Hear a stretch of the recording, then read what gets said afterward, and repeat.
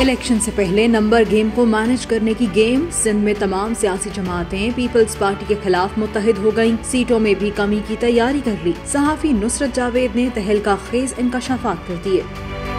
नुसरत जावेद ने दावा किया कि सिंध में एंटी पीपल्स पार्टी फोर्सेस ने काम शुरू कर दिया है। इस मकसद के लिए सिंध असेंबली में पीपल्स पार्टी की चौदह सीटें कम करने की कोशिश की जा रही है। लेकिन पीपल्स पार्टी को सिंध में काबू करना आसान नहीं, क्योंकि वहाँ उनका खिलाड़ी अच्छा है।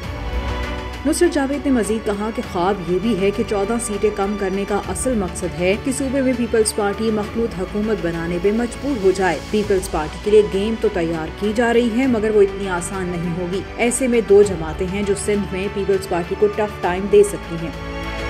नुसरत जावेद ने कहा कि अगर मुस्लिम लीग नून और जेजुआई ने सिंध में इतिहाद कर लिया तो वो सूबे में पीपल्स पार्टी को कराची के कुछ हलकों और नॉर्थ सिंध में तगड़ा टफ टाइम दे सकते हैं। लेकिन ऊँट किस करवट बैठेगा, ये तो आने वाला वक्त ही बताएगा।